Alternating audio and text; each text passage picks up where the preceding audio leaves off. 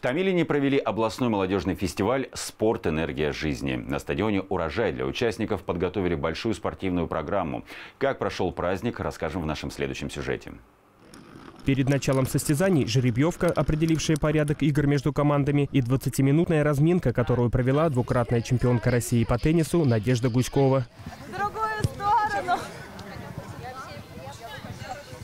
Около 20 команд из разных округов Московской области соревновались за право быть первыми. Участники показали ловкость, быстроту и сноровку. А главное, получили заряд бодрости и массу позитивных эмоций.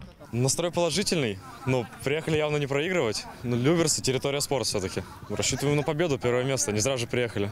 Соревнования проводят в нескольких локациях одновременно. Здесь турнир по мини-футболу. Игру ведут 10 игроков по 5 с каждой стороны. На соседнем поле соревнования по стритболу, которые инициировали члены молодежного парламента. С этой идеей мы вышли на наших партнеров. Это Всероссийское движение «Здоровое Отечество», которые нас поддержали, помогли с атрибутикой, помогли с подарками, призами для ребят.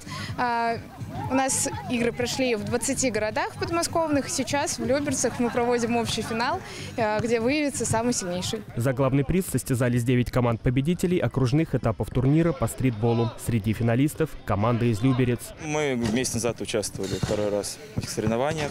В прошлый раз заняли второе место. Вот сейчас опять позвали уже представлять Люберецкий нашу команду. Вот постараемся выиграть. Команда, смотрим, посерьезнее уже, чем в прошлом на местных таких. Ну, попотеем, попытаемся выиграть. В соревнованиях приняли участие более 150 человек. Кроме турниров по стритболу и мини-футболу, организаторы фестиваля предложили ребятам проверить уровень подготовки в дартсе с мячом, настольном теннисе и киберспорте. Богдан Колесников, Денис Заугольников, телеканал ЛРТ.